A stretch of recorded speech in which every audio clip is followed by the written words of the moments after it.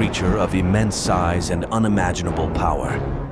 The Megalodon, meaning big tooth, was the largest shark to have ever existed, ruling the ancient seas millions of years ago. With teeth spanning over seven inches in length and a body measuring up to 60 feet, this apex predator was truly a titan of the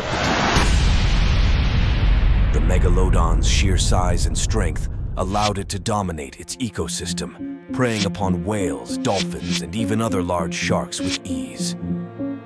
But what led to the demise of this colossal creature? Was it competition for food, changes in climate, or perhaps something else entirely? Now imagine a world where the megalodon, the largest predator to ever roam the seas, still ruled the oceans. How would this ancient behemoth affect life as we know it? With a body length of up to 60 feet and teeth the size of daggers, the megalodon would undoubtedly command our attention and respect. But what would its presence mean for us humans? Hmm.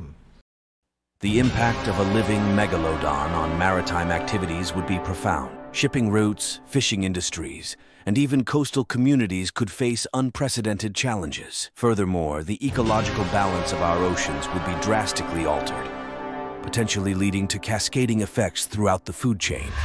Fear and uncertainty, could there also be opportunities for coexistence? Could we learn to adapt and thrive alongside this ancient Leviathan? It's possible that studying the behavior and biology of the megalodon could unlock valuable insights into marine conservation and habitat preservation. As we ponder the mysteries of the deep, one thing is certain. The legacy of the megalodon continues to captivate and inspire us to explore the wonders of our oceans. Thanks for watching. Don't forget to like, share, and subscribe for more thought-provoking content.